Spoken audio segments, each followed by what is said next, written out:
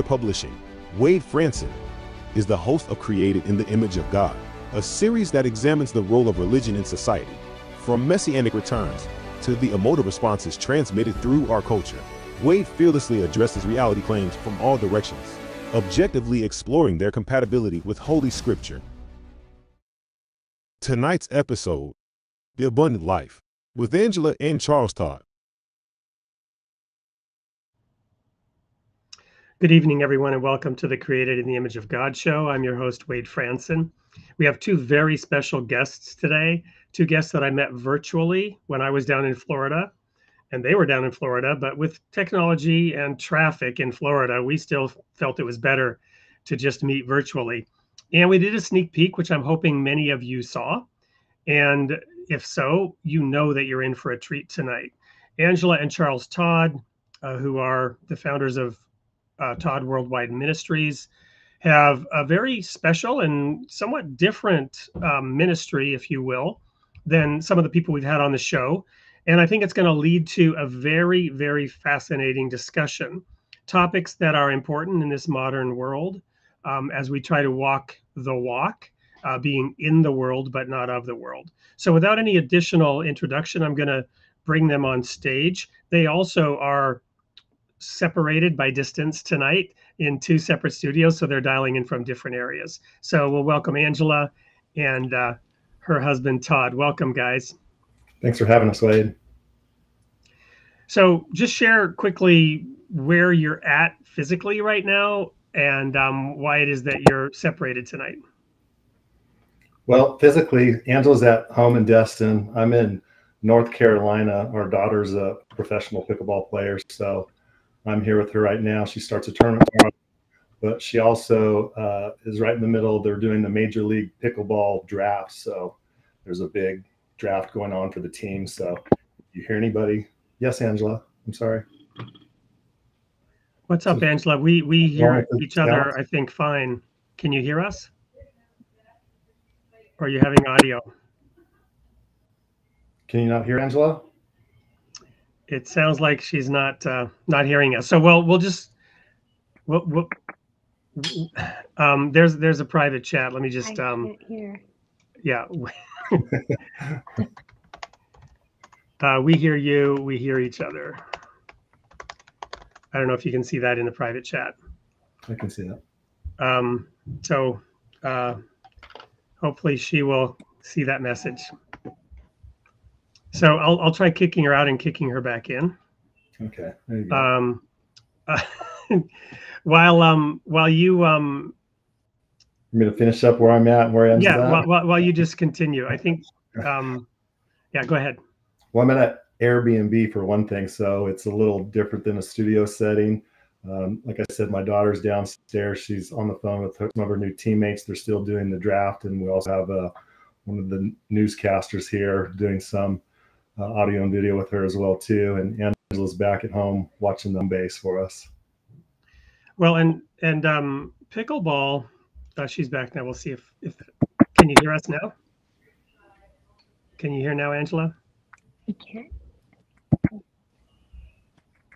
Maybe take um, in and out. Yeah. Um, Technology is great when it works. yeah. Um, well, so tell tell us just briefly. Um, how, what about professional pickleball? Because um, I actually have played it a few times and love it, but I, I, didn't know there was like a professional circuit.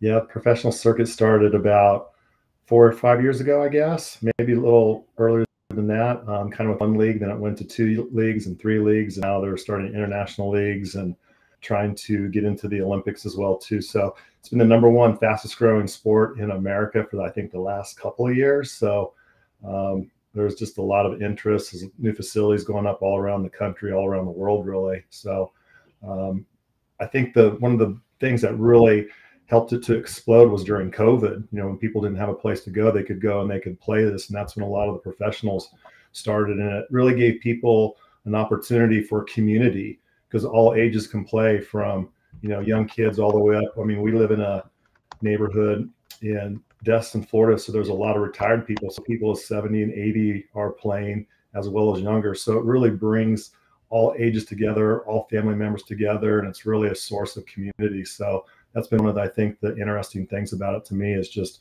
the bringing people together.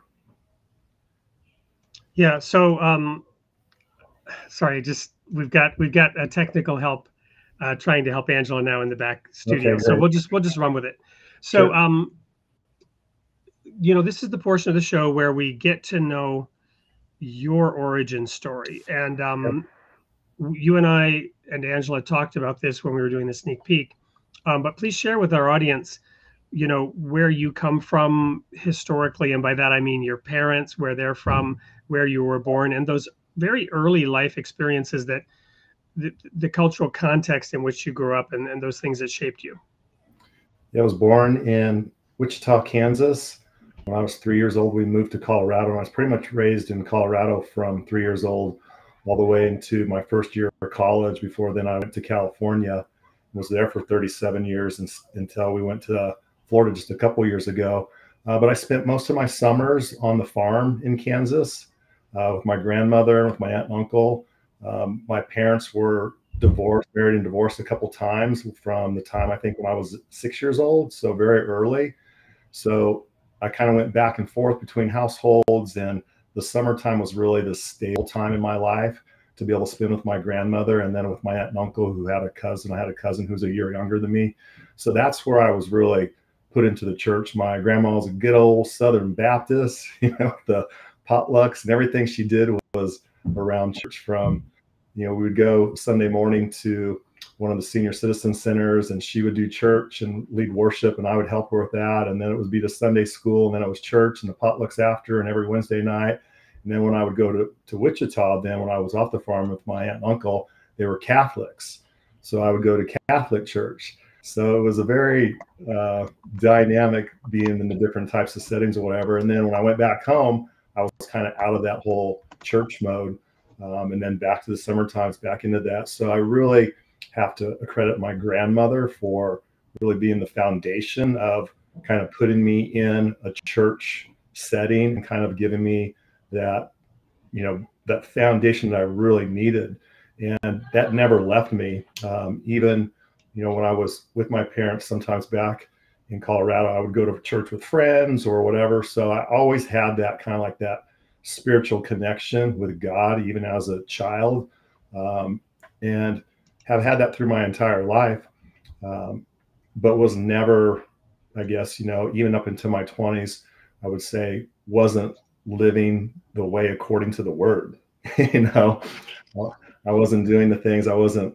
Uh, I wasn't tithing, I wasn't giving, I wasn't doing, you know, serving. I was doing none of that. I would basically I would go to church on Sunday night. It wasn't until Angela and I met that uh, I had a number of different types of businesses. I was I had health food stores. Um, then I had restaurants. I was in the nightclub business, and that was when Angela and I met. So I was in the Speaking of which, speaking of which, she's back now, and she can not only speak, she can also hear. Yes. Hi. Thank you. I'm. I'm sure I missed the juicy part. Sound like it just came in on the juicy no, part I just, I just got to that part. So you're right at your right time because she likes to get on this one. So anyway, so here I am running nightclubs seven days a week, but me and Angela are going to church on Sunday. So. You know, so so how so running nightclubs um that doesn't sound like a typical, you know, devout church going kind of activity, especially for a Southern Baptist background. It was not. and, and my my life, really, my twenties up until I guess when Angela and I were married and we had our daughter Paris, I was 31 or something. So my whole 20s and up to that was there was really no devotion, I guess, to you say. I still went to church on a regular basis, but I didn't know the promises of God. Mm-hmm. I didn't know any of the things. I mean, I would read scripture, whatever, but I, I never really had any revelation of scripture. I don't think. Um, so, like we I were said, church. We were pew warmers. We were just warming the pews. Well, I'm gonna, I'm gonna, I'm gonna share a personal anecdote that I haven't shared with you guys and nor with my audience. This is well documented in in my first book, The People of the Sign. But um, I grew up I didn't grow up, but, but when I when I became a teenager, I was now living in a household um, with a father who was extremely zealous and extremely focused on obedience to God. And the the commandment that I had the biggest problem with was honor your father and mother because well by that time my mother was an alcoholic who was she had she had died when I was 16. Oh, I'm sorry. And I'd been I had not seen her in 5 years except or in, excuse me in 4 years except for once um, when my dad brought her up to Alaska in some kind of effort at reconciliation, and she was just drunk the whole time. Um, but it was my dad that I had a problem with because I blamed him for all this. And um, it's a long story, you know, domestic kidnapping, being smuggled out of the country. Supreme go, course court case went up to the Supreme Court of Sweden, which is why I held my dad responsible. Um, but but I did come to believe in the Bible and the promises of God, and I committed myself to that fifth commandment honor your father and mother because it's the first commandment with a promise right? It says that it's the first commandment with a promise that your days may be long on the on the land that the lord thy god gives thee. So i knew i would you know end up like my mother or worse if i didn't solve this anger and hate that i had for my dad. Um, but he continued to not be the father in the prodigal son story right? So for example when I then moved out and was trying to save up money to get a car, my dad refused to co sign the loan for me. So I was not able to get a car. And I was driving a motorcycle up in Alaska, working two jobs in the winter, right, to try to pay for my apartment. So I had been saving up my tithe money in the bank. like and you know, I just hadn't hadn't sent it in yet is all hmm. right? It's, it's in the earthly bank it's not in the bank of heaven. Well no but no i literally i i had an account right? So we did not do weekly offerings. You sent it in. Mm. and you know you sent it in every so often. And so but for whatever reason it was beginning to add up. And by the way we believed in 10% of the gross income. 10% of your gross because god's claim comes first right? Mm-hmm. I'm not saying that that's the right interpretation in all the circumstances, and but we also paid three tithes, which is a whole nother Oprah, right? We paid the first tithe to God, the second tithe to observe His holy days, as they were found in the Old Testament, and the third tithe was for the widows and orphans, which sadly was largely gobbled up by the ministry. But that's again a whole nother story. The point is, there was a rather was that thirty percent then? It was thirty percent of your gross. However, third tithe was, was only every three years, or rather, more specifically, two years out of seven, because the seventh year was the year of forgiveness. So you had two three-year cycles, and then you you were off for a year, and then you started over, right? So it averaged out to about twenty-three whatever percent of your gross income. A lot of money. Now the feasts were amazing. The, the holy days, we saved up 10% of our gross income and we partied like crazy. And um, we did so as a church, and it was awesome. It was a foretaste of the kingdom of God. I don't mean to go deep into this. I'm, I just want to get to this one point. Point is, I had this money in the bank, full intent to send it in. It was God's money, and I knew it. However, because my dad refused to co-sign the loan, my anger issues with my dad took over and I decided to spend that money on a car. Well, guess what happened? um, the car I was able to afford was a, a little Honda Coupe, two two cylinder air cooled engine, um, and Honda basically almost ruined their entire market in the U.S. I wanted a Civic, is what I wanted back, way back then, but I got this used Honda Coupe, and um, I was probably driving it too fast, air cooled engine, whatever um, overheated. One of the pistons broke off and went through, or one of the valves broke off and went through the piston. So the engine was totally toast. And I had to like leave it by the side of the road. And when I came back a couple of days later, some rowdies had turned the car over on its side because oh it was this gosh. tiny little car. So within a few weeks of having spent my tithe money on this car, it was totaled. It was gone. it was totaled. And then I got sick and couldn't oh work. Gosh. So, right? what'd you learn? yeah, what I learned is um, God is tithe. Trust in God, trust in God, and stand in awe. Now, I am not here to teach the specifics of tithing or any tithing system. Um, you know, I'm not here to teach doctrine. It's not the point of this show. All I'm saying is, I can relate to your story. Yeah, I mean, with us, we you know we're going to church, and I really, I mean, occasionally you would hear about the tithe, but it may have been once a year. I mean, you hardly ever heard anything. At least me, be coming from Baptist church and then Catholic church, and then when I would go to church by myself or with my friends, wherever I was at, was usually non-denominational. You just didn't hear about money.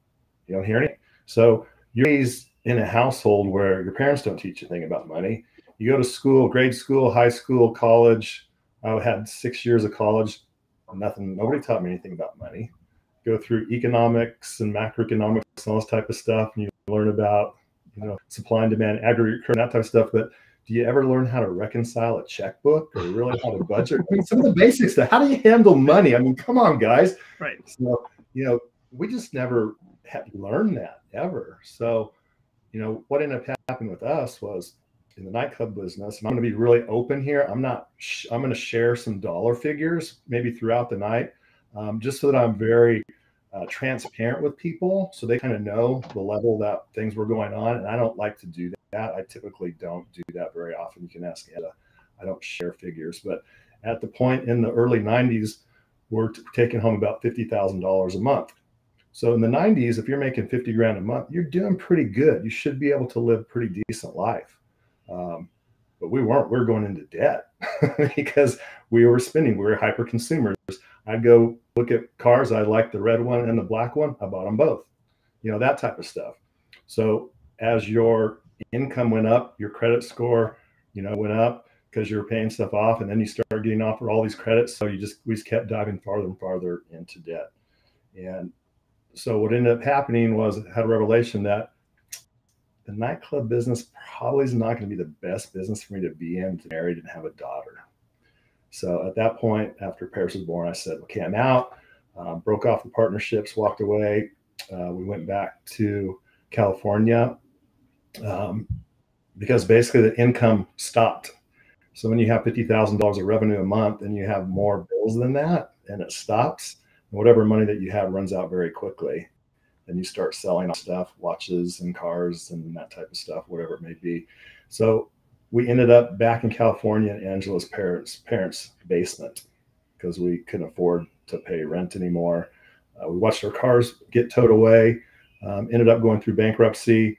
Um, bankruptcy allows you to get rid of all your credits, like if you have houses or cars or credit cards, that type of stuff. The things that it does not allow you to uh, to bankrupt is student loans and back IRS payments. And I had back IRS payments of six figures. I had student loans of, I forget how much, 40, $50,000, something like that. So after bankruptcy, still hundreds of thousands of dollars still in debt.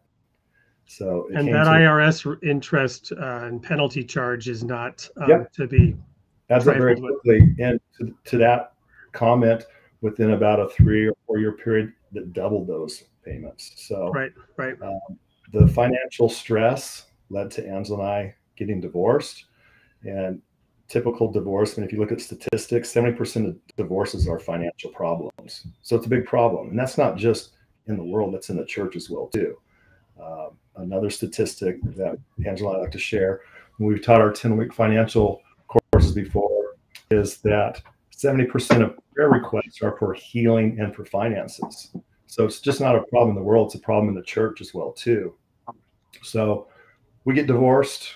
I'm out, and so I get enough money together to buy an old beater car, Bailey, and I end up living out of my car for a year. Two cylinder Honda Coupe, something maybe a little bit better than that. I didn't, I didn't have my tithing money saved up, so I didn't do that. So my car didn't blow up the next week, thank God. Yeah. yeah.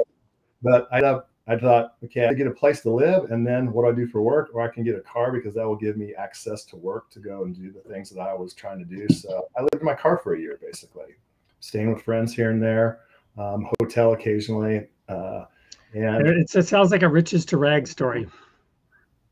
and it really was. I mean, talk, if you want to talk about hitting rock bottom, I mean, I couldn't have a checking account because the IRS or the, even the state would seize my money. So at one point, had no place to live, no car, no bank accounts, no job, no business, no money, lost my wife, lost my relationship with my daughter, complete, utterly bankrupt. And so it's given us a place of to teach other people from a place of compassion because sometimes when i'm sharing with people on trying to help them in whatever way it is through encouragement or sharing money management they'll say things like we don't know how hard it is and so i can ask do you have a bank account? Well yeah i got a bank account. Okay you had more than i had. Do you have a car? Well yeah i have a car. Do you have a place to live? Anything that any one of those answers that i would or questions i would ask somebody if they had one of those they were better off than i i was. So sometimes just that can be encouraging because sometimes when you're down in the dumps, you think like nobody's ever had it as rough as I have. And I think really from a, a kind of a, a, teaching or an encouragement perspective, sometimes will allow you to kind of bond with people. Just like, for example, maybe if somebody's been a, a drug addict and has got recovered and gone through that, then sometimes they'll be able to relate to other drug addicts a little bit more because they know what it's like to be there. Say, hey, you know, I know what it was like to be on those drugs. And when you thought you couldn't get away with them, there's no way, and you thought about taking your life and all that type of stuff. So there's a connection there. So, you know, we really have been able to use that um, to help to do that, just to kind of come from a place for compassion. Because sometimes I think that now, the position that we're at now, that you know, people if they know, hey, you got a big house and you have fancy cars and you had a business for 20 some years and you have all this, you can't relate to me. And my so my whole point is yes, I can relate because I've, I've been there before. So a year after me and are separated, I'm starting to get some work going again. Angela starts the company that we have now. Um, our daughter uh, suffers an injury. She's I'm staying with one of my friends. Paris is with me. She's playing on his back. She falls off, cracks her skull. Long story short, we're in the emergency room. We end up in CHOC Hospital in Orange County, California. She's got multiple fractures, uh, bubbles on the brain. They want to monitor her. They think they might have to do surgery. It's touch and go. They don't know what her condition is going to be. Um, and just to kind of fast forward the story for sake of time is that Angela's in New York. She flies back. We come together. We pray over her. Within a day, she's miraculously healed. They do the new MRIs or the X-rays, whatever they do. There's no bubbles on the brain. There's absolutely zero cracks and fractures in the skull. 100% healed. Went home. She never had any other effects from that. And one of the miraculous things about that is we never even got one medical bill with everything that we had that we went through with that. Well, and to to that, I also like to attribute that story to the power of the praying mother.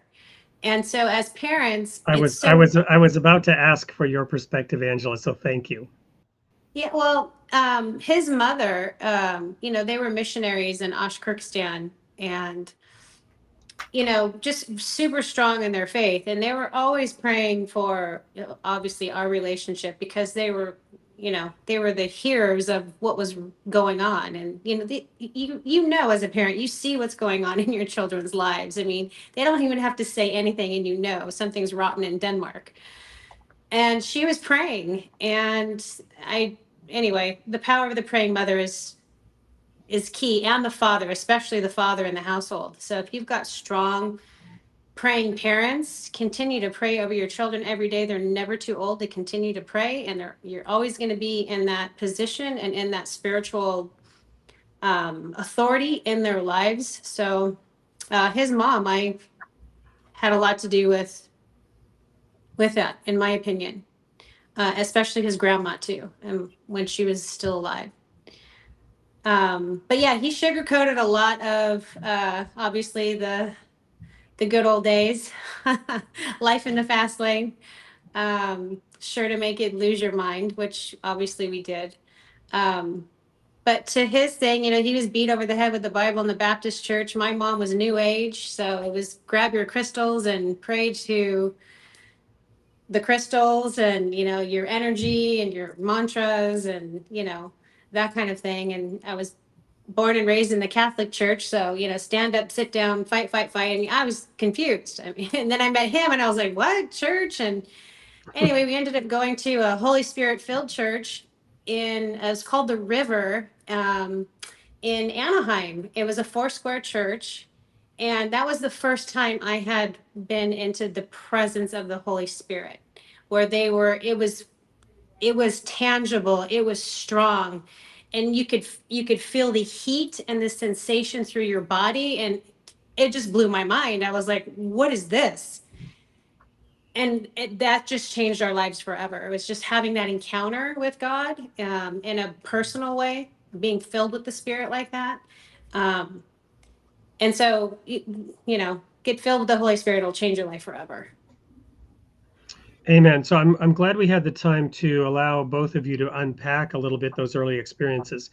We're going to take a commercial break, and in this case, the commercial is going to be an ad that you've produced that that uh, Money Mike tree behind Angela there, um, because they have written four books currently, I believe, in a series.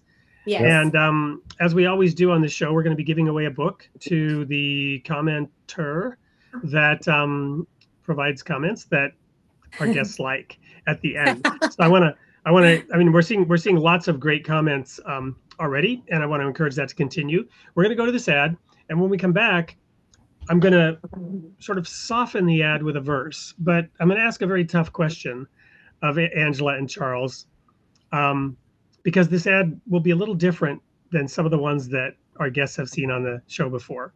Um, but it'll tee up the uh, the discussion to come. So don't go anywhere. You're on Created in the Image of God with Wade Franson. I'm here with Angela and Charles Todd. We're talking about the abundant life, and um, we'll have more about that when we come back uh, right after this. Hey kids, it's Money Mike. I'm lean, I'm green, and I'm a money machine. Welcome to my new book, Money is Easy, where I branch out with glee, revealing the message money is as easy as counting one, two, three.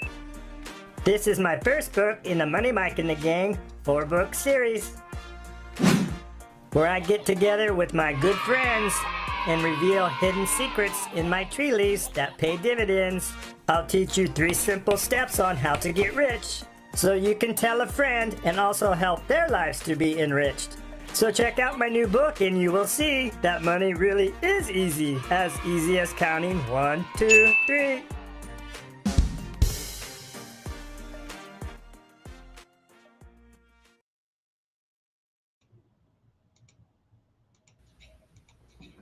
Welcome back.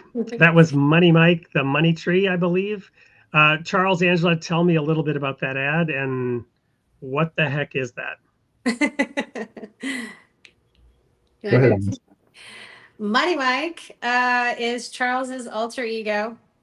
Um, we were teaching, uh, he was teaching 10 week financial courses to the body of Christ at Free Chapel Church in Irvine, California. It was a transplant of Jentezen Franklin.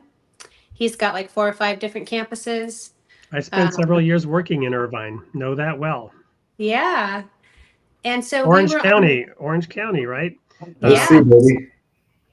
Baby. the the OC the Orange Curtain, and we were uh, prayer team leaders, and so we were praying for businesses every, I think Thursday morning at seven a.m. Whether you believed or you didn't believe, or you just wanted prayer for your business, you would we had we would pack the we would pack the house, and we would just lay hands on everyone and pray for their businesses to be successful in Orange County, and we did that for a long time for a, a few years.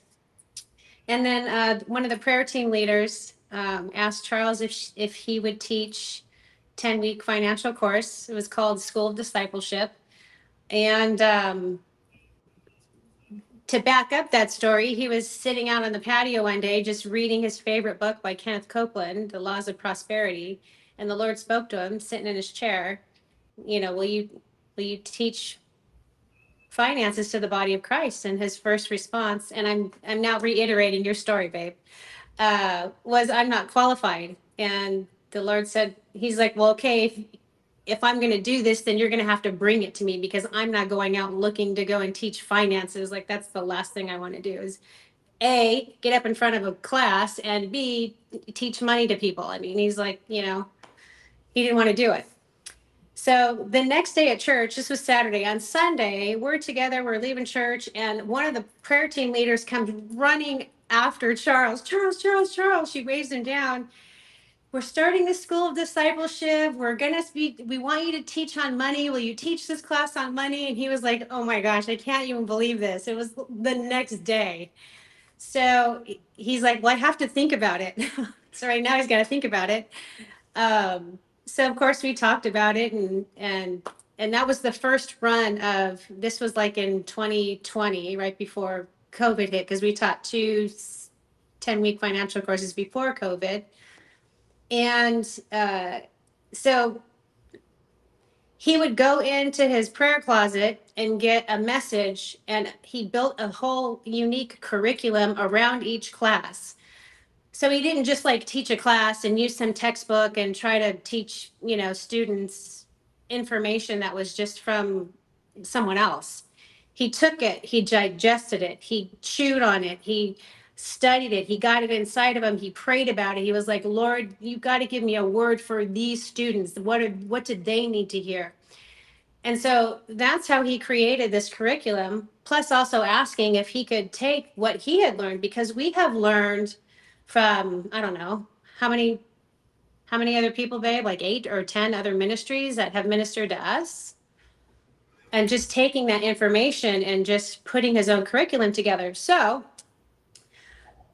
that curriculum for those specific classes became what the kids version of the content is for Money Mike and the Gang and he got the download for the kids um, brand when he was you know he's praying in the spirit he's putting his curriculum together and the lord said children's books. And he was like who has time for that? I don't know i'm not even a writer right? He had no he had no writing experience he didn't it, it was just a sheer grace of god that a little bit little bit different from the nightclub business. Yeah exactly. It was a straight up download. And so you know, during COVID, he's, yeah, I was just like, when are you going to write the books? When are you going to write the books? Well, who has time? You know, we've got a business, we've got a ministry, we're doing all these things. And, you know, when the world shut down during COVID, now there was no excuse. And so I just said, just do a stick figure on paper. I'll take it. I'll take it to an illustrator. Just throw up on paper if that's the because I write. So I'm just like, just do it. I'll just take what you put down and we'll make it great and we'll do it together. And he did. He spit out, you know, these little stick figures with all the stuff and uh, brought it to an illustrator and brought the whole thing to life and then got the editors and, you know, as the book process goes, you get it out. Punchline now.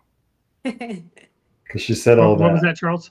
I'm going to take us to the punchline. Angela okay. gave us a very good backstory of how we got to the punchline here, which is Money is Easy. That's our first book. We have Money is Easy, Saving is Easy, Giving is Easy, and then the other one is Stay Out of Debt with the loan shark. So it's about staying. So each component has obviously its teaching lesson.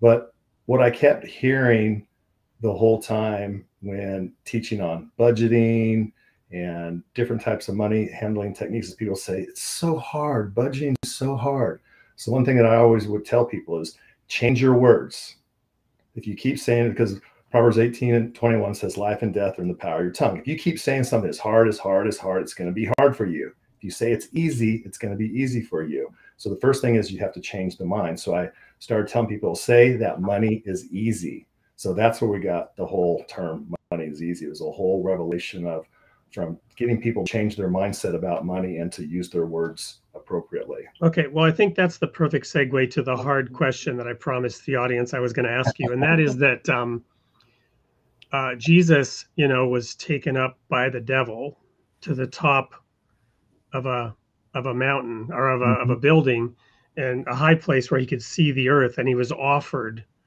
everything right riches uh, power glory um, and that's a typical example of many that might come to mind for christians and other religious people where self-sacrifice, self-abnegation, right?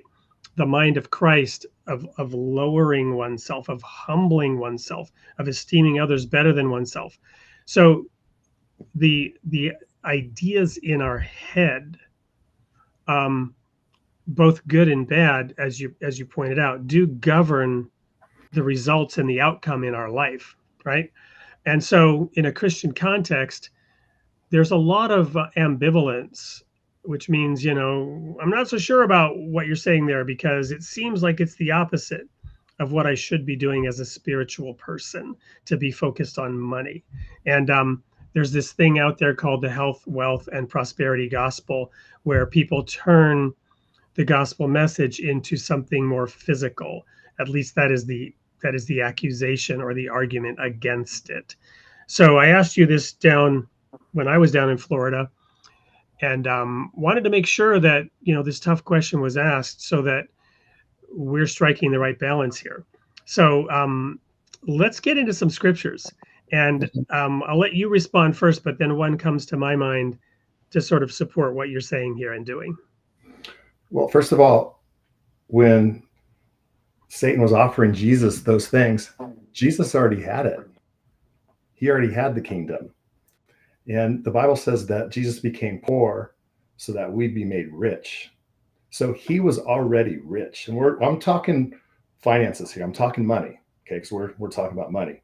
So first of all, let me clarify something that prosperity is completeness. It's not just money, having money, health, relationships, peace, protection. It's, it's shalom, it's completeness. So you can have all the money in the world, but if you don't have your health, how do you enjoy it? Well, there's there's also the there's also the narrative around Jesus, and this is to me fascinating. Um, you know, we think of you know Jesus, the poor carpenter who was like the foxes who had no place to lay his head, but that's probably not the reality of the of the physical material circumstances of Jesus, who was certainly a skilled craftsman in his trade as a carpenter. Well, there's also when the three wise men came as he was a child and gave to his mother, all of the wealth and the riches that they gave and presented to the baby. So there's no account. Yeah, whatever happened to that? whatever happened to all that money? He he was yeah. already set up with a trust fund before he even graduated. Before his mother was like, "Where is my son?" and he's like, "You should know where I'm at. I'm in my father's house." He was already a trust fund baby because when he was brought into this world, they brought him all of those riches. So before he could even know what they even were, what to do with them, do you know what I mean? So you could you could argue however you want. He was yeah. He, well, well. So in other words, what you're saying is Jesus actually gave something up. He wasn't impoverished and poor from birth based on those gifts. Well, impoverished and poor from giving up heaven. I would say, you know, you when you have the kingdom is on the inside of you. Like he was just saying, Jesus had uh, he is every he is everything. He is the whole package. He's wealth, prosperity, he's riches, he's health, he's wholeness. He he is all that man in the flesh here on the earth to show us how to live that way. Well, you and by his stripes we are healed. Absolutely. Yeah. Okay. So what other scriptures then, or what, what are some of the scriptures that you might bring to mind to support this position? I'm going to read some of these. Typically, like when we're on our podcast or teaching, I'll just rattle off scriptures or whatever, and then our editors will put it on. But I'm going to actually read them just mm-hmm. so that we know. Thank you. have anything edited. Um, I'll read a couple different things and I'll kind of back these up. Um, first of all, is Proverbs 10 22 from NLT. It says, The blessing of the Lord makes a person rich, and he adds no sorrow to it. And that rich word in the Hebrew is ashar, which means to accumulate and grow rich. So a lot of times I think it's important to get the scripture in its context and also sometimes too whether or not you're in the old testament new testament to look at the hebrew and to look at the greek as well too because sometimes people will try to spiritualize this by saying that it's not actual material things right. so and certainly it is and certainly the spiritual is more important than the physical but that yeah. doesn't mean that the physical is not important part, part of it too right. so let me get one more here deuteronomy 8 18 and you shall remember the Lord your God, for it is he who gives you the power to get wealth, that he may establish his covenant, which he swore to your fathers as it is today. So he gives us the power to do something. So, first of all, if he blesses us, if he gives us the blessing to be rich and he gives us the power to get rich, why would he give us the power or give us those promises if he didn't want us to have that? So, to, to me, it's very clear. And one of the things, like, we didn't really talk about the part where when we came out of bankruptcy and all that, we started looking. The thing that I want to do is who is teaching about money in the church because I need to know because Hosea 4 and 6 says that my people are destroyed for lack of knowledge, or the second part of that is they reject knowledge. And right. if you look up um, knowledge, let me go back, here. I think I have that in my notes. Um, destroyed, my people are destroyed. Destroyed means in the Hebrew to, to be dumb or fail. So this is what was going on with me is I was dumb and I was failing in my finances because I didn't know what the word of God had to say. The flip side of that is when people actually know some scriptures and they'll hear somebody such as maybe myself sharing those, but they'll reject it. So they'll say, nah, I don't believe that. I don't, that's not what I feel. You know, money's the root of all evil, which they just quoted the scripture wrong because it's the love of money. It's the wrong relationship with money is what causes that. So and it's not the root either; it's a root. The love of money is a root of all evil. There are many other roots of it as well.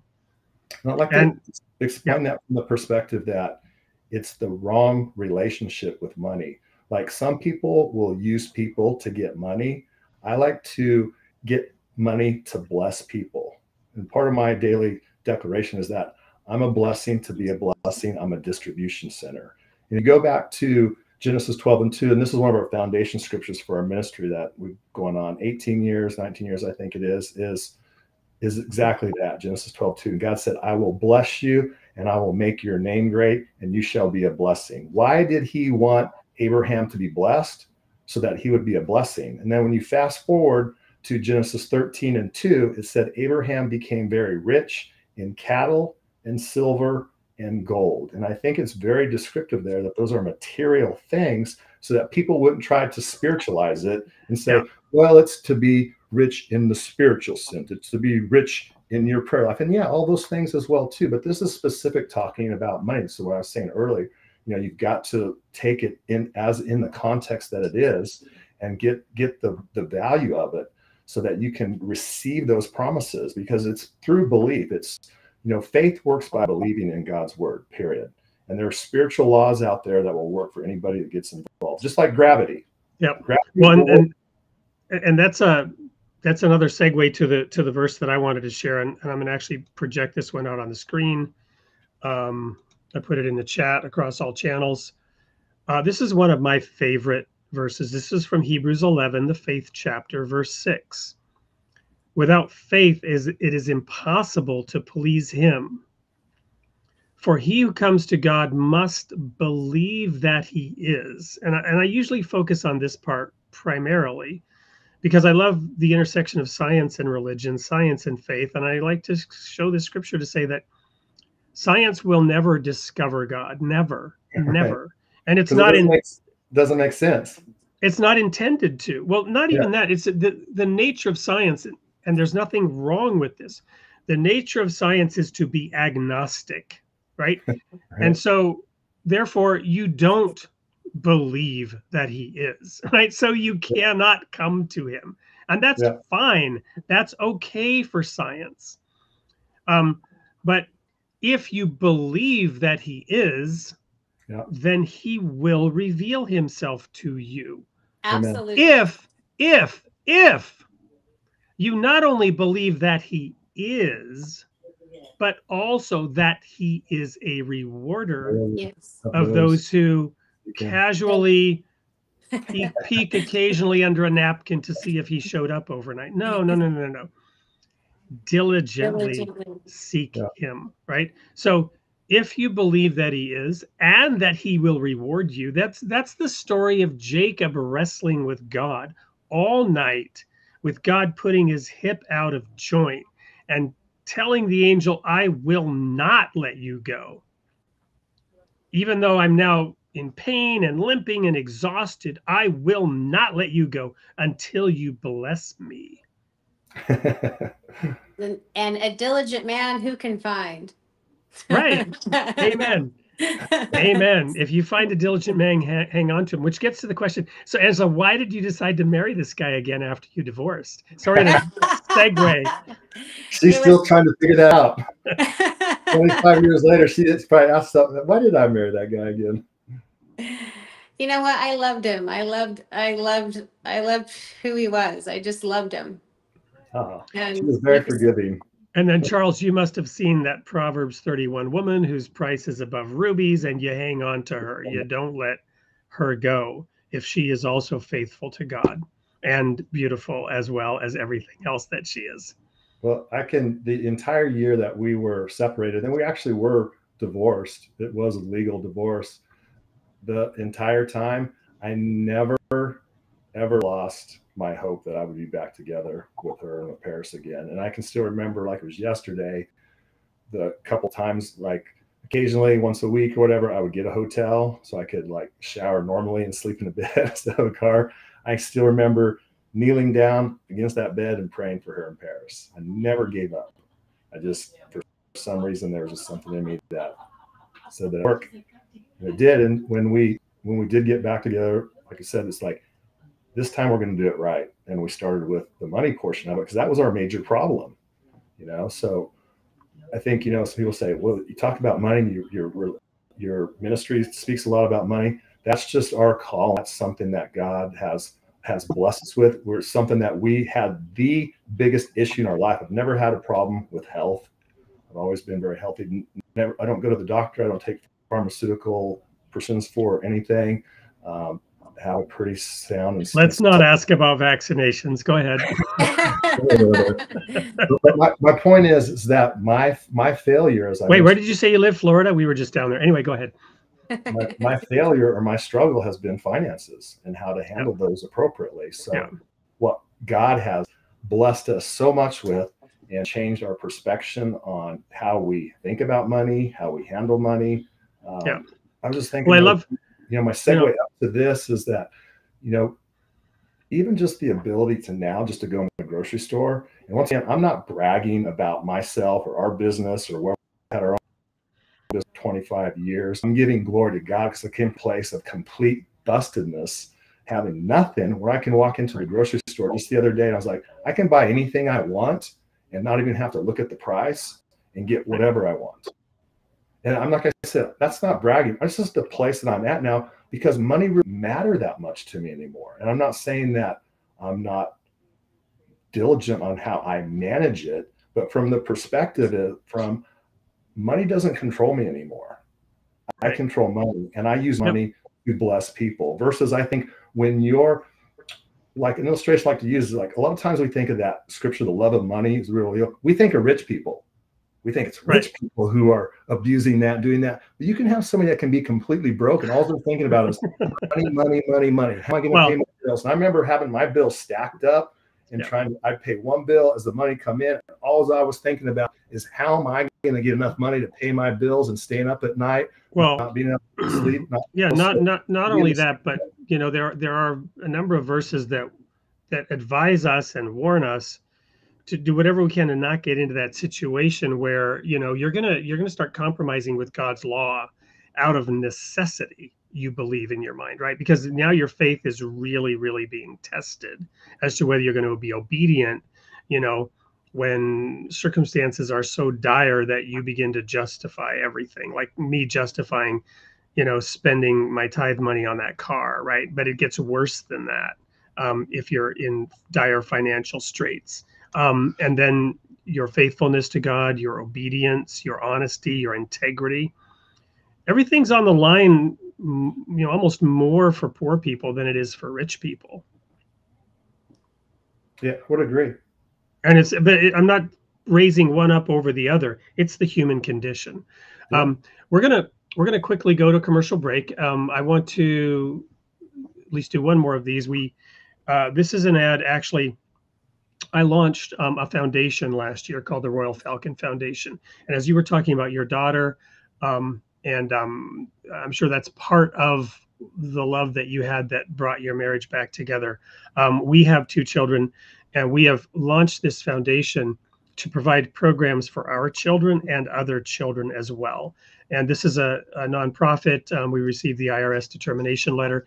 This is one of the um, ministries, if you will, that my family is involved in. It's called the Royal Falcon Foundation. Um, we are uh, launching a program of service. It's one of the reasons we were down in Florida.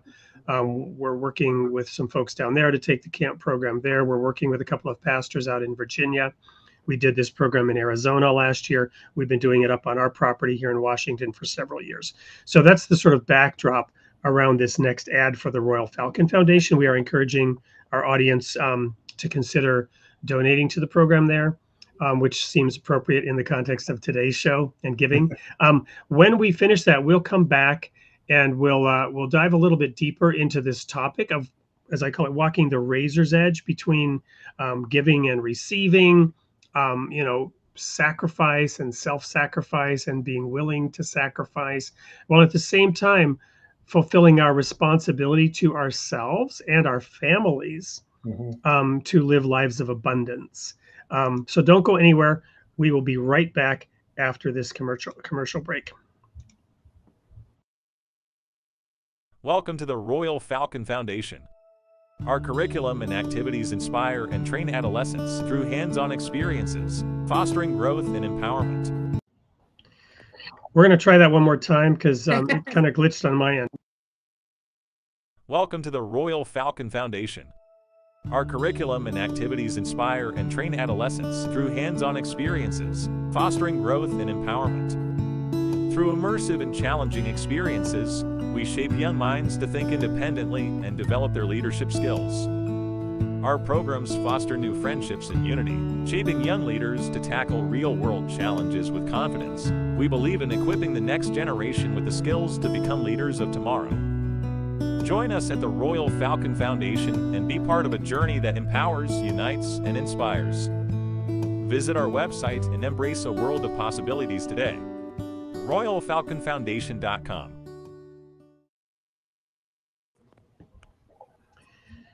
Welcome back, everyone. This is Wade Franson. This is the Created in the Image of God show. I'm here with Angela and Charles Todd. We're talking about the abundant life.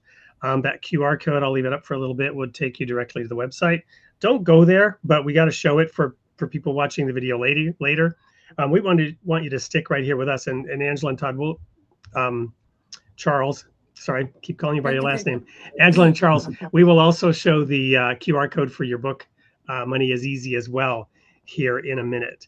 So, um, right before this, we were, you know, diving into scripture, talking about, um, you know, the biblical admonition to believe that God is a rewarder of those who diligently seek Him, and the promises that He's been making to His His uh, trusted um, followers and to those prophets and messengers that He sends to humanity um, all of whom he has made promises to, all of whom come bringing covenants, uh, as Jesus said, that we might have life and have it more abundantly, which is, I'm sure, kind of where that abundant life quote comes from.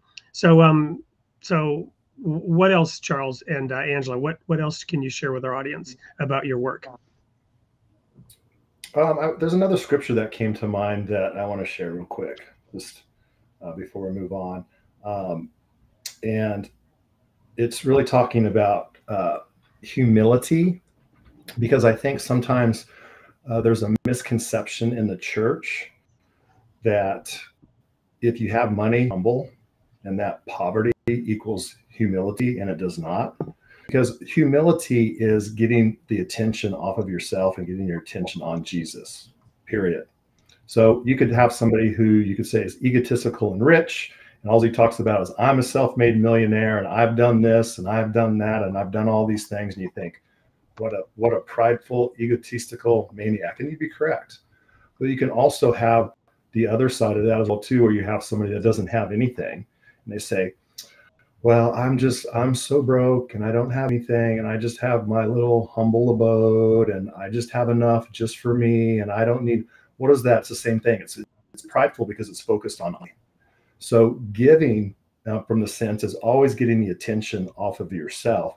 And the Bible talks about, uh, I'm going to read this scripture as well too, because I want to make sure I read it correctly. It's Proverbs 22 and 4. It says, True humility and fear of the Lord leads to riches and honor and long life. The thing you have to realize is that fear in the Hebrew there is the word uh, yirah. If I mispronounce that to my Jewish friends, I apologize. It means of moral reverence or deep attitude of respect. So that fear is not like trembling, fear and trembling of God. It means respectful of God. So it's saying that true humility leads to riches, honor, and long life. So if you reverse that, you could say false humility could lead to the opposite things, to a short life, to poverty, the other type of things. So that's just that's a myth I think sometimes that comes up about people that have money can't be humble enough to be farther than the truth because like I said, it, it stems off of getting attention off yourself and putting it on Jesus. Amen. So I, I want to dig into something um, here that's that's relates to society. Now I've shared with you guys, and also my audience mostly knows, you know, my background of this kidnapping, where I was smuggled out of the country and taken to Sweden. One of the things that happened there was I was now suddenly a fourth grader, living in a different country, different language, different culture. Everything was different. One of the things that was very different was that in Swedish society back then, um, and I think it probably still is, it was strictly forbidden to do any marketing to children. And, and and beyond that, there were two government controlled TV stations. Now we in our country don't like government control, and uh, and I, I, I tend to agree with that. Right, I'm not a big government guy.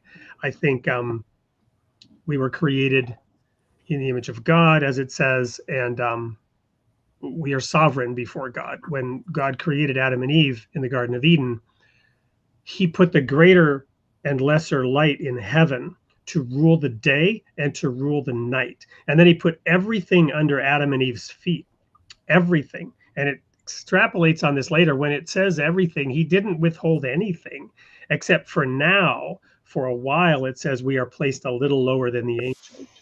But mm-hmm. even our destiny is you know to be inheritors of everything. But there was this governor this gov this limitation was put the, the lights in heaven were set there to rule the day and the night. And as i like to describe we are to submit to the light. Mm-hmm. that is who we submit to. That is what we submit to the light uh, and in the deepest, darkest night, you have the moon to guide you or the stars. So God is never, even in the darkest of dark, God's light will always be shining from some place. And of course, in the broad daylight, um, everyone whose deeds are evil, they're fleeing the light, right? My point is, he created Adam and Eve as sovereign on the earth, um, s- submitting only to God, not even to each other in the original state. You know, that came later, right? When uh, the um, challenges came with them eating the tree of the knowledge of good and evil and essentially entering into the school of hard knocks. And then God places these curses, they're called, which described how the human condition would then unfold. Um, I'm, I'm kind of off track now in this big, broad, sweeping statement. getting, but getting back to uh, in, in Sweden, government TV, there were no advertisements at all. And it was strictly forbidden to advertise to children. Whereas in America, where I had left, the TV was the babysitter. And the children, and my dad used to get furious because I would get up early Saturday morning and sit in front of the Saturday cartoons for like, you know, six hours. You know, they'd start at like 7 a.m. And, you know, back then there was no internet, there were no phones, but every Saturday morning, man, it was Kidtopia, you know, where you could go and watch those cartoons for four, five, six hours and then of course commercials and as this infrastructure as this ecosystem evolved the most sophisticated psychological manipulative techniques ever imagined or created by man were targeting these young impressionable minds and basically ripping a hole in your soul telling you that there's something wrong with you unless you have this thing, right? And really feeding into your covetousness, right? I think we're going to follow up this show with um, and I've this up, right? The, the, the 10th commandment Thou shalt not covet, right? Thou shalt not covet your neighbor's house. Thou shalt not covet your neighbor's wife, nor his male servant, nor his female servant, nor his ox, nor his donkey, nor anything that is your neighbor's, right? Um, coveting is that wrong relationship that you were talking about with money or with things. But here, um, you know, I was suddenly sent for a loop and a shock in a society with kids who were not brought up or trained on that. And those young uh, kids in Sweden were much more innocent than I was. And I recognized this difference even in fourth grade. And this, the impact of this awareness fed into my relationship with materialism when I came back to the US. And so my point my point here is that that relationship to money and our desires, right, is what we have to be aware of and conquering. Um, Charles, Angela, your reactions to this? Yeah, I think, I mean, even Paul taught the Corinthians about the proper ways of handling money. So people, even during Paul's time in the church, had money. So he had to teach them how to have the right relationship with them. So, like anything, I think that you know you have to be taught how to how to earn money, how to make money, how to manage money, doing all those different types of things that you need to do. But there's also, you know, there's there's lessons on how to actually have the right relationship with money. So, like I said earlier, you use money to bless people. You don't use people to make money. So, well, and you were talking earlier about what you know what led to your the collapse of your ecosystem financially you know going out and buying the red and the black car right so as the money became rolling in hyper consumption yeah those those those impulses that that are fed through the materialism that fuels our society um, they have to be managed they have to yeah. be those those impulses have to be conquered uh, through the spirit of god well, well and now say, it's i say now that everything that Angela and I have is for sale or can be given away and we've we've given cars away we've bought cars for people we've paid people's entire debts off. We have been able to send people's uh, children to college, paid people's rent or mortgages for entire years, all these different types of things. And once again, I don't say this to brag on what we are doing or what we've been able to do. We came from a complete brokenness where God has blessed us to be able to do that, to be a blessing. And we've had some great business deals that have happened. You know, we've had some really good money making deals and whatever they may be. And you know, we thank God and we're excited when that stuff happens. But when we go to on a ministry trip where we're assigned to go and to minister to a family or to an individual, and we end up sowing a seed into their life, when we do that, when we give them that gift and they don't even know what it is, walk away, we bawl. It's like it's like we just drive the car just bawling because mm-hmm. that joy of blessing other people yep. is like nothing else. It's like you can make the biggest deal, the most money. Greater love has no man than this, that he lays down his life for his friends, and that includes our wealth. But if we haven't accumulated any wealth, we don't have the ability to help other people with their financial challenges. Right. Well, and, and, there's and, also and the scripture that says, if you being good in this world know how to give good gifts to your mm-hmm. children, how much more your Father in heaven Right. Matthew 7 the, 11. The joy that we had just and and have doing that in that moment it's so overwhelming like he was saying we would just be crying in the car because you're so there it's an unspeakable joy. How much more does god want to bless you in those things where we didn't judge them for the sin that they were in which they were in some pretty bad sin that we found out later. We had no idea. We right. just went on there to love them, to bless them, to sow a seed to them, which blew them away. And when they were crying when we left, I mean, for like a week straight, they were crying and they were crying like, you answered our prayer. This is amazing. You know, it's just, it's mind blowing. It's almost like a window of heaven. The Lord allows you to go in just to see his heart, just for a little tiny bit. It's just like a little seed. Yeah. So you've just, you, you've just actually helped me connect a couple of dots here because it's, you know, sorry, you know, maybe that that whole TV thing and childhood in America. And there's this coming of age where you get a car, right? At least used to be. Kids used to want to drive and couldn't wait to get their license. I hear that that's changing in the modern era. But anyway, so you know, I, I then um, after that experience with the car, I started tithing, and the next thing you know, I got I got a great job, and um, I was diligent at it, and I got promoted, and it was a unionized thing within the um, grocery store system. So I, I, became a journeyman food clerk, which doesn't sound like much until you start getting double time and a half for working holidays, uh-huh. and it's unionized, and you've got nighttime premium. And I'm 19, and I'm blessed with getting to live um, with somebody where I don't have to pay rent. And so for me, you know, it wasn't $50,000 a month, but the money was rolling in for this little 18, 19 year old. So the next thing you know, I have three cars, right? I have a Firebird Esprit, which is basically a Trans Am without, without the trim. And I, and I had a um, Camaro, an older one. And I had this Chrysler New Yorker which was my winter car up in Alaska, right? Because it was a tank and it, it was old and it didn't matter if I got into a fender bender or slid into the ditch. Anyway, so but I'm but I'm having problems with these cars and with speeding, and I got into the situation where I tried to outrun the police. I tried to outrun the police, and I'm literally doing 130 miles an hour oh, with the no. with the state troopers in pursuit. Oh, and I no and I turned my lights off. And I'm 19. I turned my lights off. It's nighttime because I'm working nights, and um, I'm on my way to work.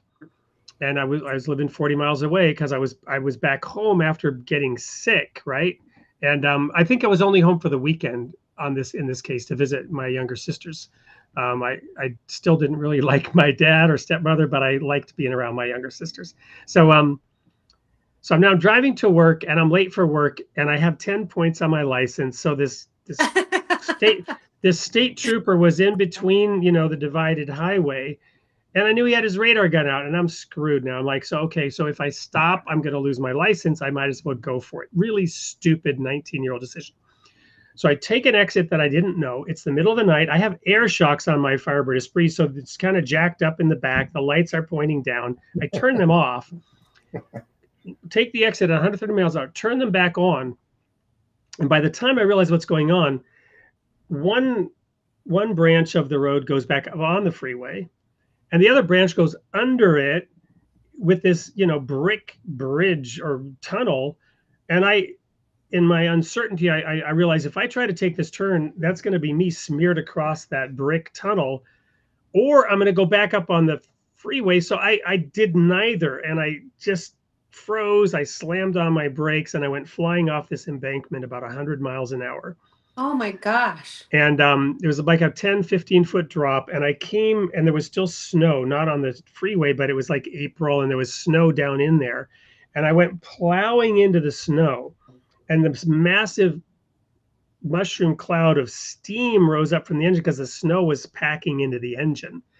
And um, now I'm like, crap right? And the the you know the state trooper had not seen me take the exit because I had turned off my lights and I was I went around a corner, so I knew he didn't know that I went there. But then um, he so, was like, "Okay, what is this?" well, exactly, exactly. So exactly. So so here's me in my teenage brain. You know, this is a warning: teenagers don't have much of a brain, but in my teenage brain, I'm like, I'm gonna I'm gonna go under that freeway and hitchhike into town and report my car stolen or hitch, hitchhike back home and report my car stolen. Oh my gosh. And so, but I'm, my footprints are in the snow, right? And then I realized I left my jacket in the car. So that's going to blow my cover story. So now I'm going back to the car to get my jacket. And while the state trooper is coming back down the other way. And, you know, he sees, because he saw the mushroom cloud, he comes back down, you know, from that exit ramp. And um, it's like 11 o'clock at night, by the way. And so he gets out his spotlight. He, you know, it's like he dances across the footsteps to see me crouching in the snow there, pulls out his gun, and with with you know a lot of expletives tells me that my rear end is is toast if I don't get my blankety blank rear end mm. back up on that, you know. And so I end up in jail. My dad bails me out because you could do that. He wasn't happy. Trust me, I won't even go there. I went back to look at the site of the accident. This is the whole point of this story. And I kid you not, it's in my book. I, I don't tell this to make anybody believe it, but in black and white, the tracks of my car on the pavement in black ended at the embankment and then in white in the snow like a fake arrow going through the head of a light pole a metal light pole that was standing the tracks Wow. of my car showed a car going through that light pole and the light pole was untouched That's And I walked- crazy. I walked around, and my car, by the way, had been towed out the other way. So the tracks were not affected. And nobody Wow. else looked at the tracks because the tracks were like 300 yards back from where they towed out the car. Right. Nobody ever saw this, but I went back and I looked at those tracks. This was like two days later after I got my car out of impound, right? And um, I walked around and around that light pole, and that's when I realized I was not being a good boy. that was your only realization? no, my realization is I knew I wasn't being a good boy. That was an awareness. My awareness was I was anything but a good boy. I was like you, Charles, managing the nightclubs and blowing my money. and But- the Lord saved you anyway. exactly. Right. So, though my father did not treat me like the prodigal son, my heavenly father did. Absolutely. And here's the interesting thing, and this is the dots that I never connected before. My car was untouched. It, that landing in that snow was like a feather. I had I had to pay for a, a front end alignment. That was it.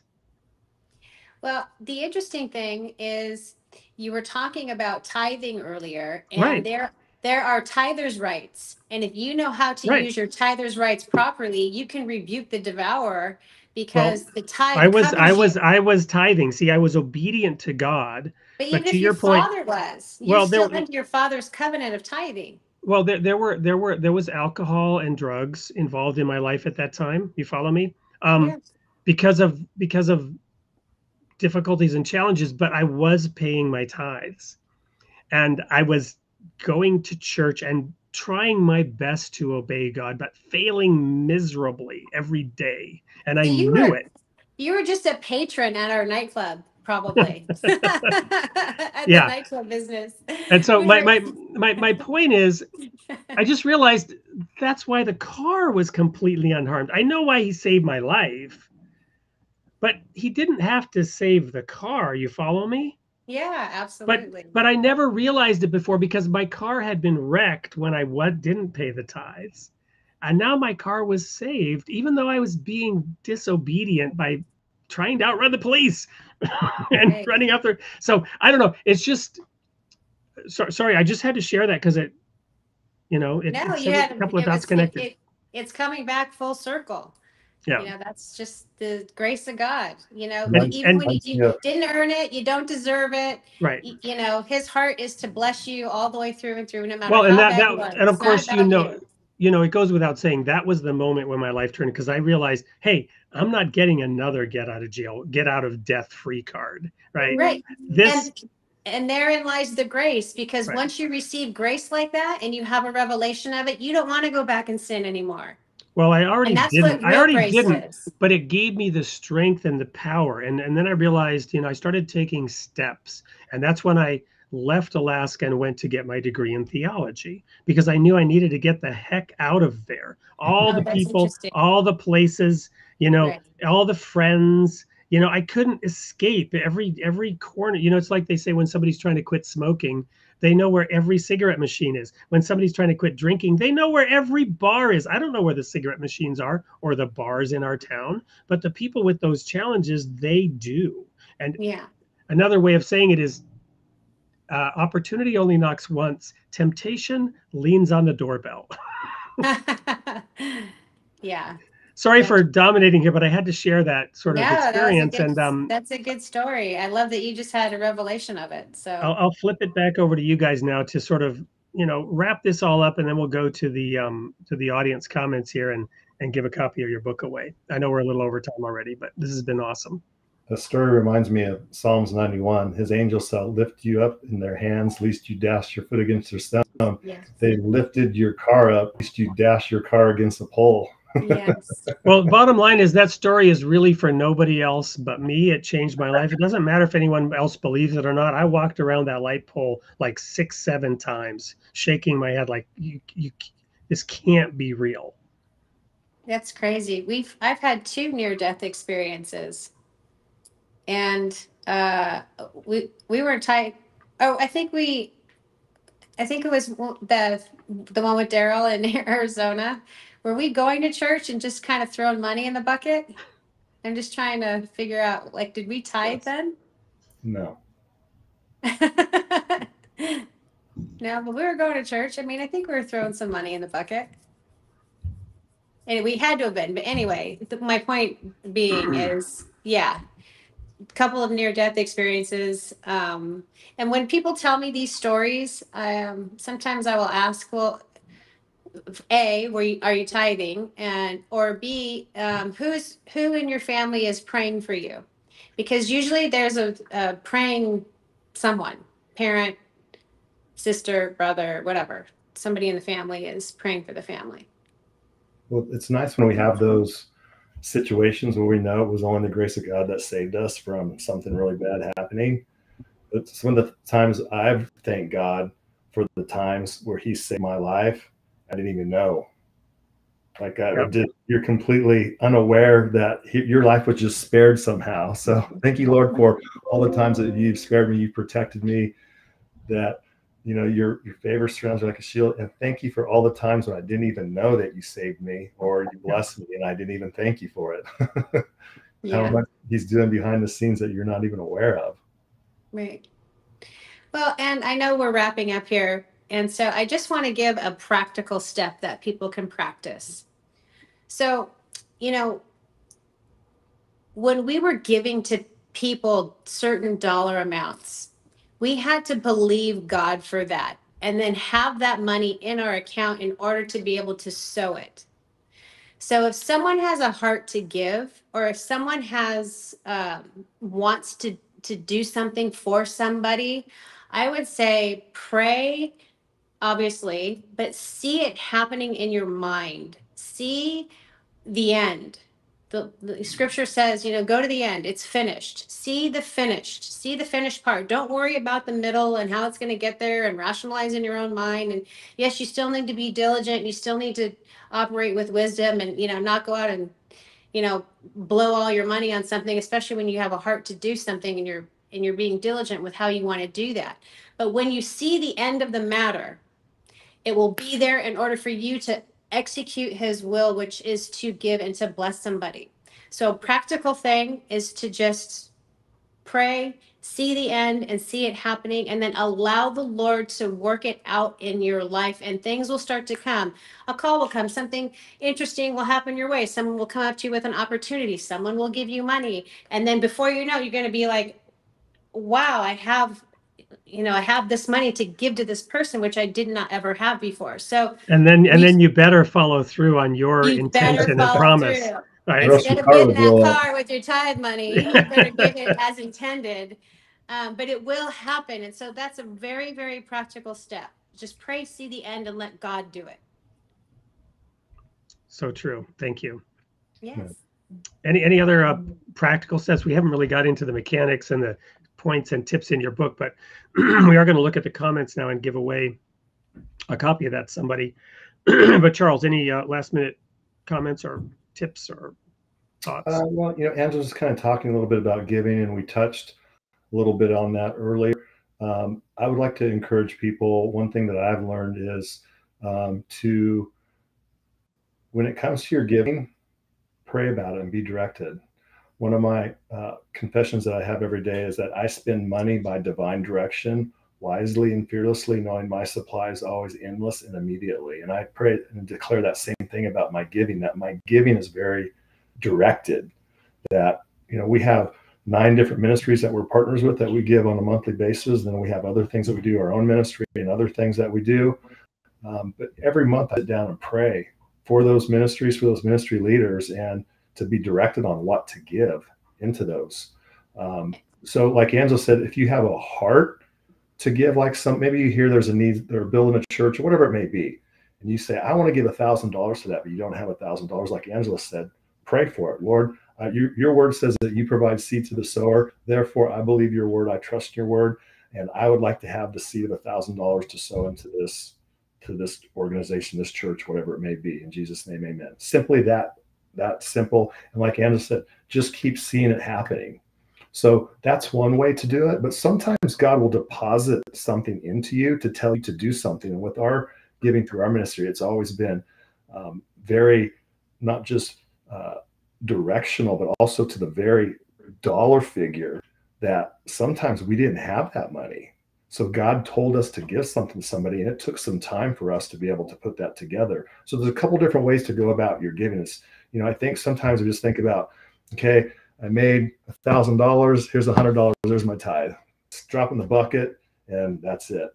It's like we like to take our money that we give, and we like to, if we are writing checks with it, we like to put it out on the counter and lay hands on it and pray and take communion over it. It's just like when you know Melchizedek brought, uh, or when Abraham bought the tithes to Melchizedek, they broke bread. You know, I brought out the wine, broke the bread. You know, we do the same thing. And again, divine, divine, divine inspiration here. That is a perfect segue to my final comment, and that is, I want to have you guys back on the show because what we really didn't talk about at all is the second tagline of created in the image of God, the role of religion in society, right? So when we did that third tithe way back when, which I talked about at the beginning of the show, that was really the uh, the the official um, social security system for ancient Israel, that third hmm. tithe, right? The widows and orphans tithe. Um, and yet, how is that administered? Well, it was to be laid up in the city. It wasn't given to a central government. It was to be laid up in the city. And my view on that is that, again, you're talk you talked about the relationship to money and the relationship to giving and the relationship to people that you're giving it to. So if you lay the, the third tithe, as we used to call it, the widows and orphans tithe, whatever, however you calculate that, there's a bunch of, there's a debate, which is why I don't get into doctrine. I'm not going to tell people that I fully understand the tithing system and how it should be applied today. Um, because the third tithe was for the widows and orphans, not from the widows and orphans, right? The widow's mite was perhaps not a tithe at all. You follow me? So that's between the individual and God, in my opinion, and God honors the heart. So I don't want to get into that part. What I do want to talk about is you lay up the tithe in the city, and the widows and orphans of that city are benefiting from that tithe. There's a connection between the giver and the receiver. This is not a federalized social security system, which turns into programs of entitlement. which do not actually help the people, don't solve those spiritual problems, don't solve those gaping holes in the heart that can come only from knowing that somebody is not only helping you, but adding their prayers. And that money was prayed over. And the bonds that are formed that help, you know, you, you mentioned somebody that you gave money to that later had drug problems, but the fact of the gift and the love helped bring them out of that. But that doesn't happen if you don't have a relationship with the giver. So yeah. we can get more into this and talk, you know, about the difference between a society in which you have people generously giving to support others versus, you know, massive taxation um, to provide you know i'm not i'm not speaking against taxes i'm not speaking against social security I'm saying there's a balance here. You know, you know what I'm getting at? Yeah. Absolutely. And then there's also what we can start getting into is speaking to your to your seed, speaking to it. Um, there's that, and then there's also uh, when connecting with the tithe. Babe, you said something the other day, and you were like, "Okay, listen to this." When the widow and uh, who was it, Elisha, went to her and said, "Hey, give me this what do you got? What do you got? The yeah, and she's like, I only, I only have this much in the jar, right? And she didn't want to give it to him. You're talking about that story? Yeah. There's, there's yeah. yeah, yeah. There's two. I mean, he, he, he was directed to go to the widow for right. the widow to take care of him in time of famine. Right. I mean, there's a drought, there's no food. And for the widow to provide for him, right. For the, for the man of God this widow to provide. What does she say? I'm gathering up a couple of sticks, two sticks, so I can cook this last bit of cake, so I can prepare it. And me and my son can die. Right. That's that's how far we were. So Yep. he said, make it for me, and bring me a cup of water too. So you know what would happen today if, you know, let's just say a, a pastor went to Africa and he was going to go down to this desolate place and he found a widow and he said, "Hey, whatever you got in your refrigerator, give it to me." That'd be all over social media, all over the news. Pastor takes widow's last. like, the whole part of it was Disaster. that, you know, by her sowing that into the Right. man of God's life, that's why it said that they went on to live many years just off of that. So, you know, right. it's, it's well, and and and I love it, but but I always like to balance things out. This razor's edge metaphor, right? Let's not forget that Jesus then said there are shepherds, and then there are hirelings, right? Who he equated with thieves, Mhm. right? So, yeah, you know, a true shepherd, a true teacher, a true giver from God. Um, that symbiotic relationship between the widow and the man of God um, was what led to the miracle, um, Mhm. which Jesus later continued with the loaves and the fishes, right? Um, anyway, you know, and again, he went and gathered up, you know, what do the people have? And he gathered up the fish and the loaves from the people, you know, right? And uh, he took them, what, from a little boy? And of course, that little boy later got to say, hey, guess what? Me and Jesus did today. Right. 12 baskets Amazing. full leftovers. Right. Amazing. So anyway, anyway, I'm sorry. You know this. This is how we roll on this show. I just love the discussion. we So- could go on. We could go on. right. And so, I, I, and I and I hate. it. I don't like to have the last word, although I tend to try to grab it. So, what else? what else do you want to share before we then go to the comments, or do you want to just go to the comments? Yeah, let's go to the comments. All right. So you guys can both see them. Um, if not, I can, you know, sh- showcase some of them. But if you have some that you want to highlight, I can drag them into the visible show. Because for our audience, if you didn't know, you're not seeing all the comments. You might see the comments on one YouTube channel. You might see the comments on one Facebook channel, or the other, or LinkedIn. Um, we get to see them all here in the studio. Well, I would like to say, you know, the even though the books are for kids and from like zero to eight, um, you know, grown-ups are going to learn a lot too. I mean, they're really written for grown-ups um, in a simplified way. And the unique thing about our books is that we asterisk financial vocabulary in the in the illustrated big fun rhyming pages and in the back glossary of terms there's the definition of that word whatever financial term and a scripture to back it up. So it becomes a learning tool for mom and the kid, especially at night when, you know, so it's not just a one and done, it's a study tool. So if you have like, if you're a homeschool mom and, you know, you can, or you've got small children, or even if not, even if you just want to, you know, read the book yourself and learn more. I mean, because believe me, grown-ups are going to learn something too, or it's just a great refresher. So, you know, aside from going through and scrolling through everything, if someone really feels like I want this book, uh, you know, absolutely.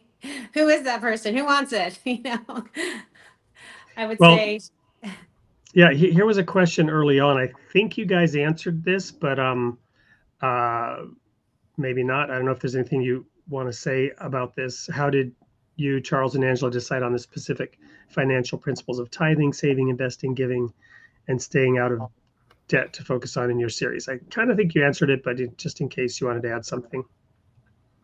They're kind of like the foundation, I think, of just basic money management from a from a Bible perspective.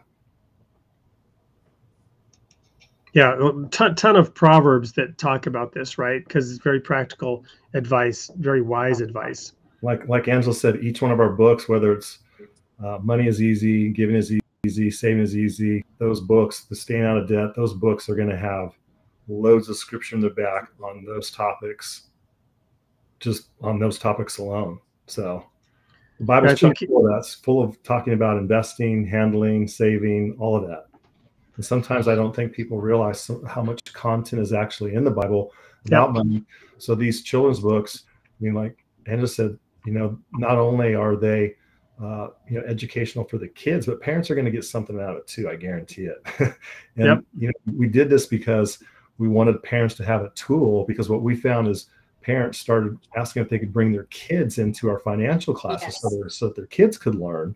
So we knew that parents were interested, but they didn't have the knowledge to teach their kids either. So we thought, hey man, you know the Bible says in Proverbs, train a child when he's early in the way that he is shall go. When he's old, he will not shall depart from it. So we even say, hey, if you're pregnant, you got a child in the stomach, read, to him Read, then. read to the womb. read, read, you know, start reading the scripture to him then. Don't Bible, I think why it says early is because if it said two or three or four, then it becomes legalistic. And then if you happen to read that scripture and your child is 10, you think, I missed the mark already. I'm too late. but it says early. So it works for anybody basically.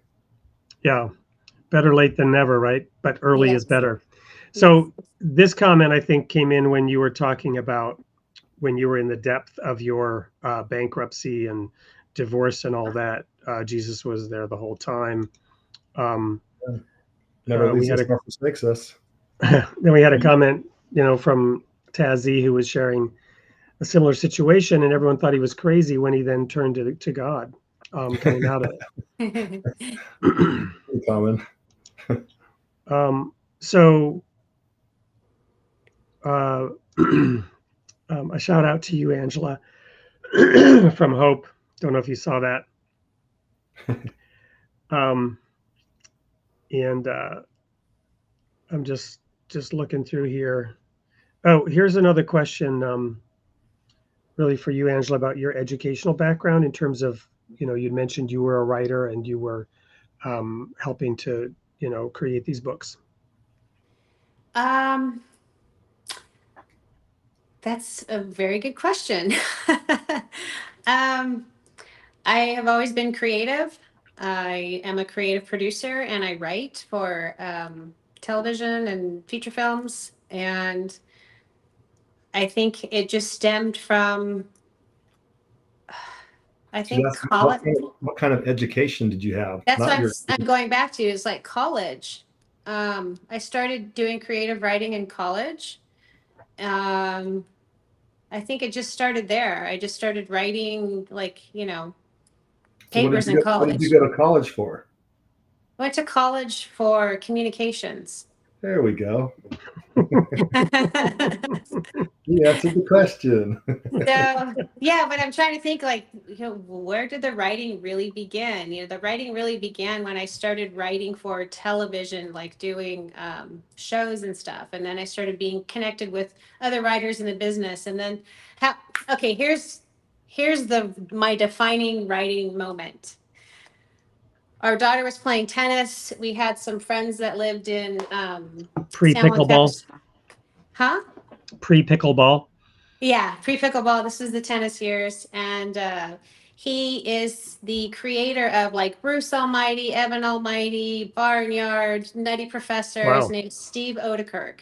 Him Mhm. and his wife Tony and their kids play tennis. So Paris would go over to their house and play tennis. And he had a clubhouse uh, back in the tennis. So when the girls were playing, I would just kind of peruse his clubhouse. But he had all of his accolades and everything out in the clubhouse. And I'm telling you, it's a spirit. And so um, it got on me. And so I would just sit and I would talk with him and he would mentor me and I would just ask him questions about writing and how to write. And he always used to say, and his one hot tip for me, and I'll tell for anybody who's who's thinking of writing, is to just throw up on paper. I tell this to Charles all the time.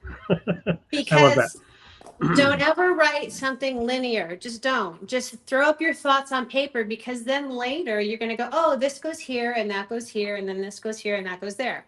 Or you can ha- have someone help you go, oh, here you go and here you go. Um, so don't ever just get so wrapped up in your mind that you're you don't get anything out because a lot of people think I'm going to write one day or one day I want to write my book and What's that Snoopy line? It was a dark and stormy night. Right? yeah. and every night is a dark and Yeah. stormy Night. Yeah. Just get one word out and then you'll be surprised that it starts to flow. So Yeah. however you get in your happy Well, place. and then this this comment from Tazzy seems to fit into that. God works in mysterious ways. If we can figure out God, then it's not God. So you were you were being guided and led there. Um, That's a good one to close with. Okay. Congratulations. You got the book. well, well, awesome because uh, I think Tazi won a book a few uh, weeks ago, and he was saying I haven't gotten my book yet, so we got to look into that. And if he hasn't gotten it, we can we can or he or she I don't know. Sorry, I don't know why I said he.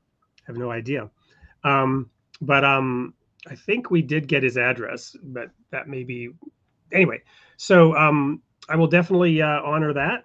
Um, there were there were a lot more great comments, but we are over time. And uh, Tazi, you're the you're the proud winner uh, again. So um, if you're still there, which I don't think you are, because I saw earlier that you your phone was dying.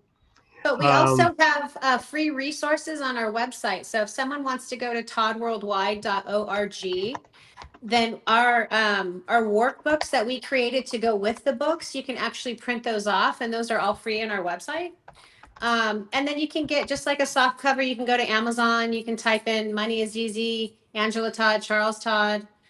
Um, you know, we've got the soft cover of the book or the digital copy. It's like three two ninety nine, three ninety nine. It's very reasonable. What what was that website again? I'll post that up here. Todd Worldwide dot org. Is that it? Just that? Um, yeah, just toddworldwide.org, or they can go to Money, Mike, and the Gang dot com.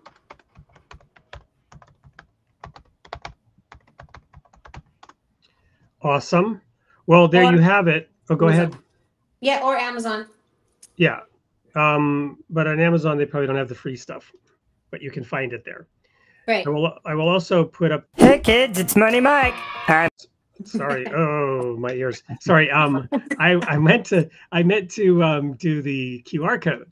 Sorry. Um, am I am I you know multitasking here? So there's that QR code one more time. So there's just one more thing left to do tonight, and that is for me to share with our audience who is going to be here next year, next week. oh my. I'm. Uh, oh my, it's getting late. yeah, exactly. So I just give me a moment here. I gotta find um, my notes because I don't know who is going to be here until I find the uh, chart. Oh yes, we have a very special guest next week. It is a returning guest, um, Barbara Breon, who is the uh, pastor or the associate pastor of the Beulah Baptist Church in Virginia and the author of Blooming for Christ. And she is the one that is um, driving the uh, program for Royal Falcon Foundation out in Tappahannock, Virginia. Oh wow. Um, sh- she will be back and we will be talking about that program, sharing some video clips. Um, it's been so amazing. She's had three different people volunteer to donate land for the program down there and um, talk about blessings and um, abundance. So we're um, we're working on you know helping them set up a foundation to receive this because the Royal Falcon Foundation doesn't want that land.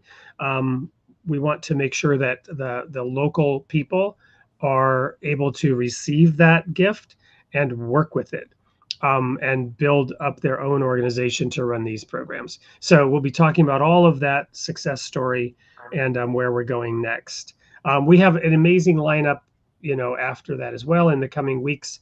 Um, the popularity of the show just keeps growing, and thanks to all of you fans who are here, many of you every week, and who are hopefully sharing it, subscribing. Keep doing that, and um, check out uh, Charles and Angela's book. Um, go to that website, download the free, free resources, and you know I hope you've enjoyed it as much as I have, Angela and Charles. I would love to have you back and dig deeper into, um, you know, where does all this go from here? Can can we begin to transform society one heart at a time, one gift at a time, one one session at a time, one educational class at a time, and then one miracle at a time, right? Where God then jumps in and backs up your work. Greater signs uh, than these, Jesus said, will follow you. Yeah Amen. Um, so that's it for tonight. Um, barring any last words, comments from our esteemed guests. Just thank you for having us on tonight. We really appreciate it, giving us an opportunity to uh, use your platform to get the good news out on Jesus, his goodness, his grace, his love. Just keep doing it. You're doing a good job.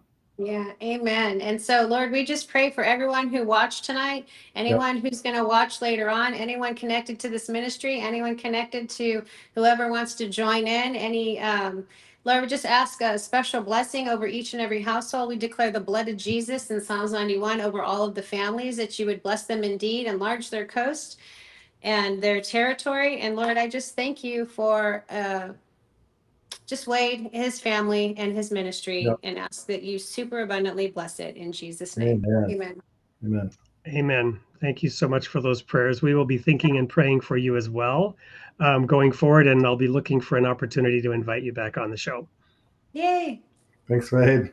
Until Thank next you. week, everyone, may God be with you and see you next week, same time, same place for Created